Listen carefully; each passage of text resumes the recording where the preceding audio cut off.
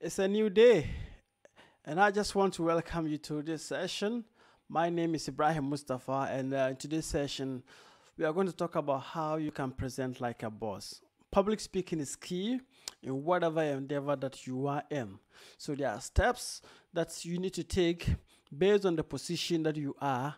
You need to present like people, average CEOs, like bosses. So today we want to talk about how you can present like a boss. How can you walk on stage with that confidence, with that elegance, to have that bossy feelings. And that's what we are going to talk about today.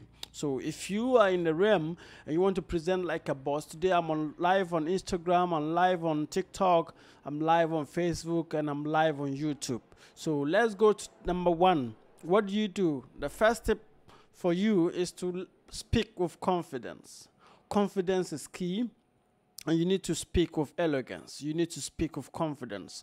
You need to like let people know that yes, you are in charge. You need to let people know that you are the boss. So when you are speaking, you don't need to speak like you don't matter. You don't need to speak like people don't uh, uh, care. You just need to speak with confidence. Speaking like a boss, you need to speak with confidence. The way you even walk uh, should exude confidence. Let people know that you are in charge.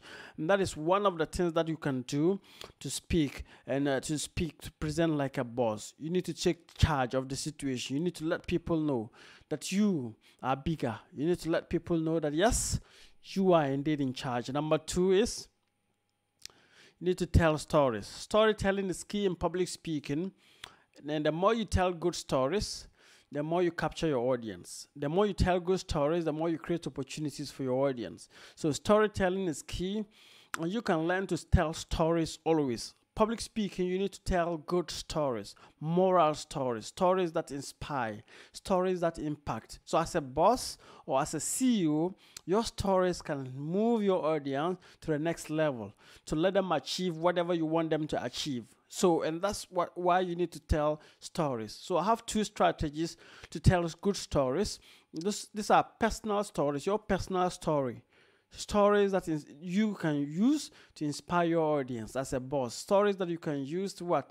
Let your audience feel carried along. So your stories i.e stories about your failures stories about your experiences stories about things you've gone through in life stories about all the opportunities that you have these are stories that can help your audience.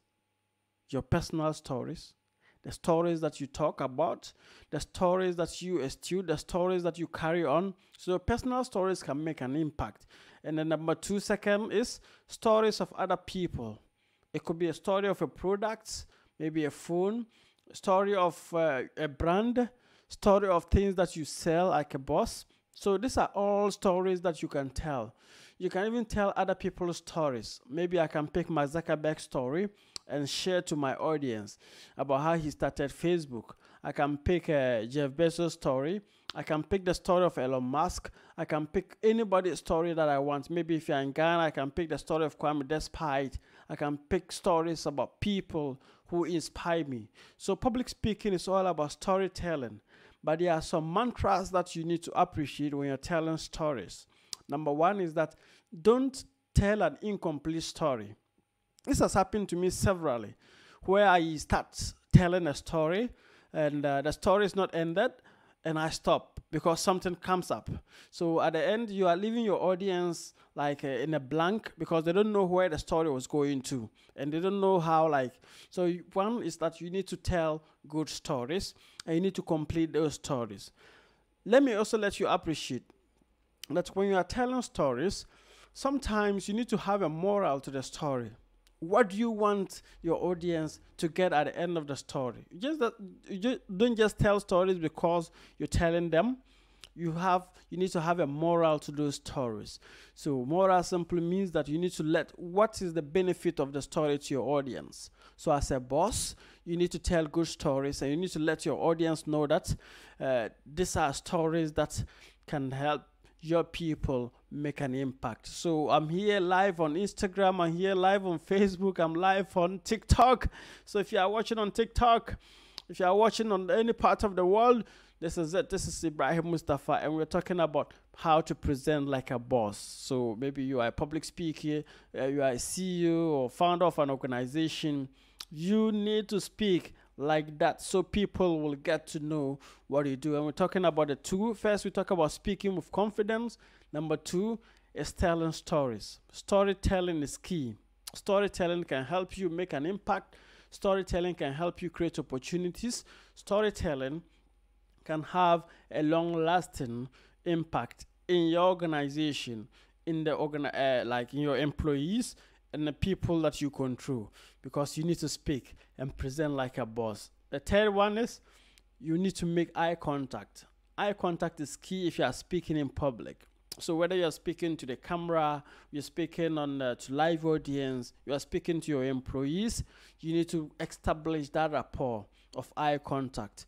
You can see that I'm navigating between my phone, I'm navigating between my webcam and all those things, gadgets that I'm using to record this because I need to keep the eye contact in check. So as a boss, as a CEO, you need to establish that rapport of making eye contact, direct eye contact. So eye contact is key. If you want to what make that connection. So you need to make eye contact, look at people eyeball to eyeball, create opportunities for them to be able to what listen to you. When you're speaking to some people and you're not making the right eye contact, you may not connect with them. It's just like making a phone call. You are making a phone call, but the line is not connecting. You're not connecting to the other person. Never, you are never going to communicate to them. And that is the same way of public speaking you need to make direct eye contact. And there are techniques, there are skills, there are strategies that you can use to make eye contact.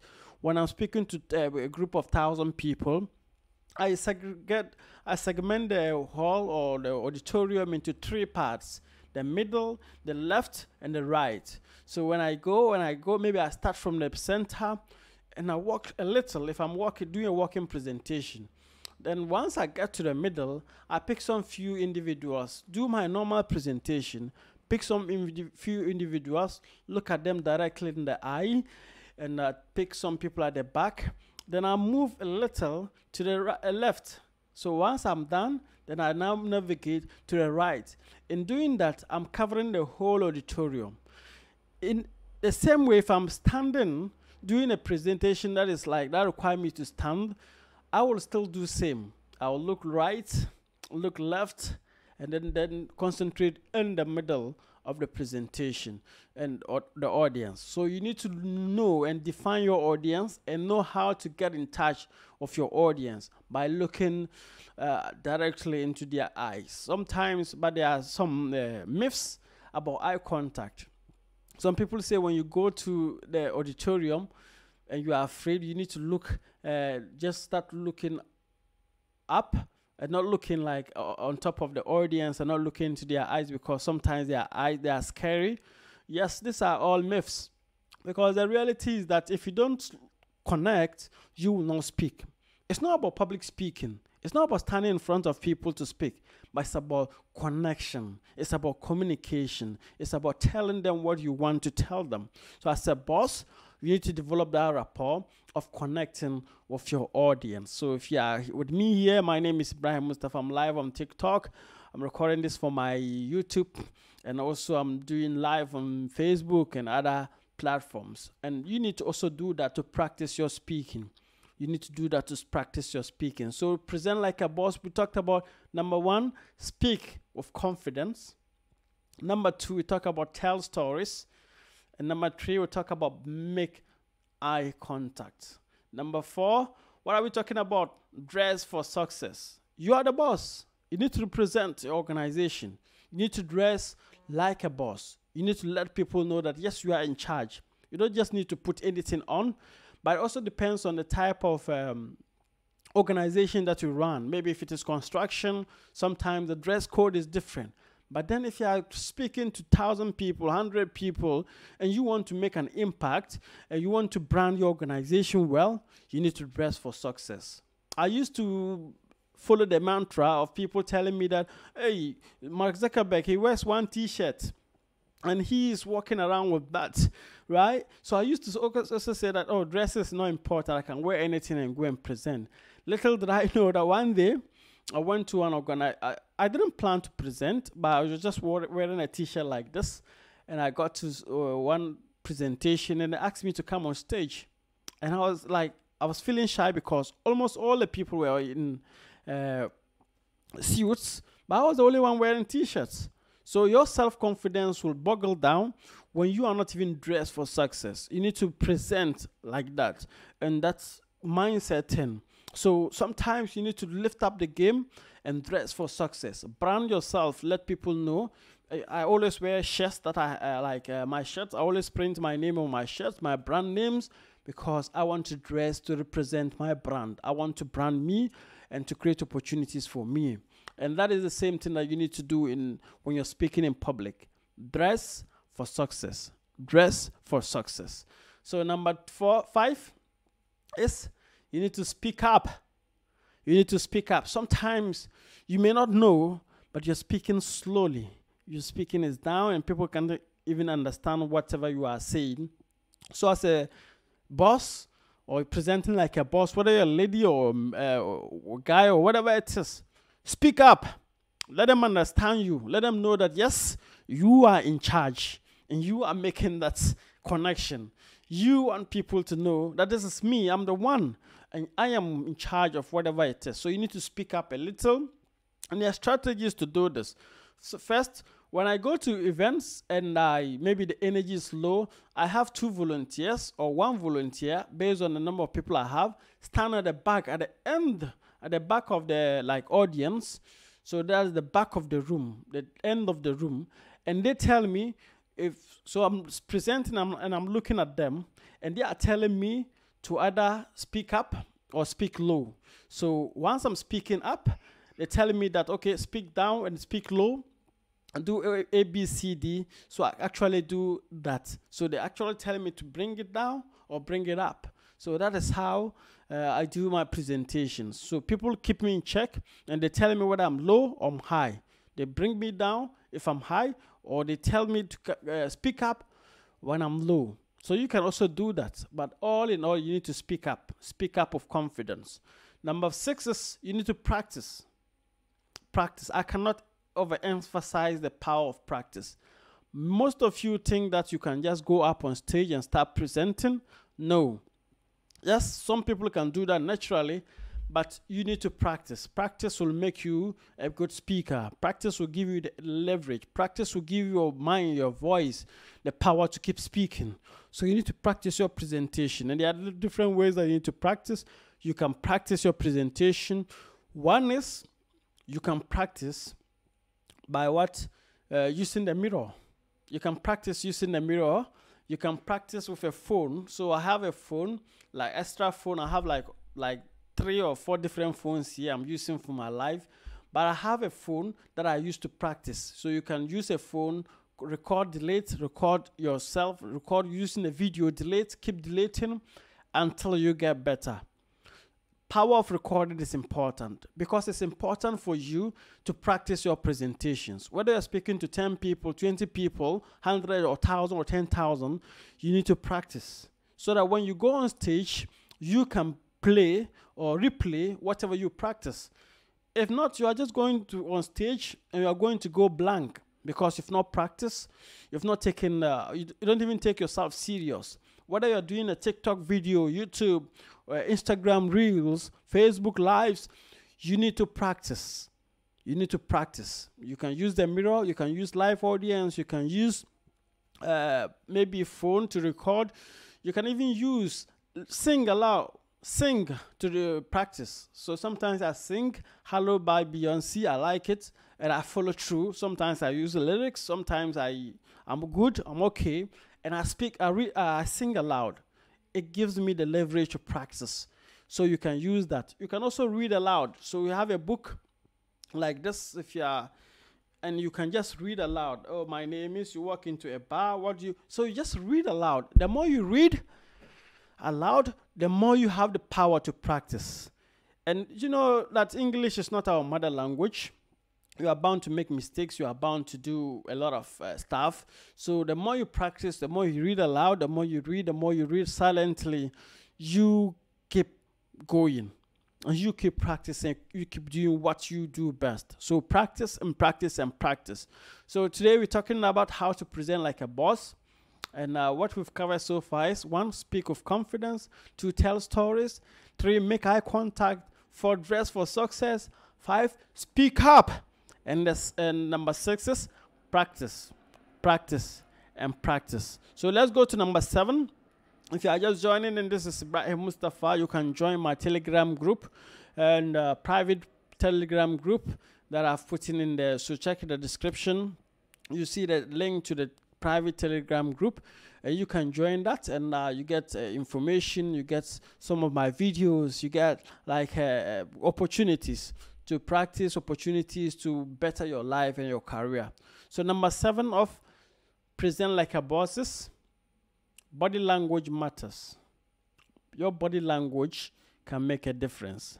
No matter who you are, no matter what you do, your body language can help you a lot in your presentation. So, learn to use your body language to be able to enhance your delivery. Maybe your eye contact, we talked about that. Maybe your smile, maybe the way you throw your hands, the way you walk on stage. All this will help you to do more as a speaker or as a boss. So no matter who you are, no matter what style that you want to present, you can make a difference by using the power of your body language to do more. So we talked about how to present like a boss. Number one, we talk about a speak of confidence. Number two is tell stories. Number three, make eye contact. Number four, dress for success. Number five, speak up. Number six, you need to practice. Practice and practice and practice. And number seven, body language matters. Your body language is key in public speaking. So if you want to do well, you need to execute, you need to let people appreciate that this is my body language and this is what I'm sticking to. So you can make an impact, you can create opportunities by using the right body language. My name is Ibrahim Mustapha. Reach out if you want coaching, if you want um, one-on-one coaching, if you want me to coach your group, whether in Dubai, whether in England, whether in whatever, whichever country, in Ghana, Nigeria, I'm ready to train your sales team to present. I'm ready to coach you one on one to speak of power. If you're a CEO too, I would like to coach you because your next presentation should be a killer presentation. Your next presentation should be something that should help you. So reach out to me and uh, and let's do justice. Reach out to me. You also see my Telegram link link and you join for me to coach you, specially coach you, because you are the CEO, you are the boss, and you need to speak with power. You need to let people know that you also belong here. You need to let people know that your voice matters, and you can change the organization, you can change the world with the power of your voice. So, thank you very much. If you are monitoring live on TikTok, thank you very much. If you are monitoring on YouTube, if you are monitoring on Facebook, on Instagram, my name once again is Ibrahim Mustapha. I'm a public speaking coach. I train ministers, member of parliaments. I train a lot of people to master the power of their voice. So let's do this again. I appreciate. Thank you for the time and let's create more opportunities. No matter what, let's do it.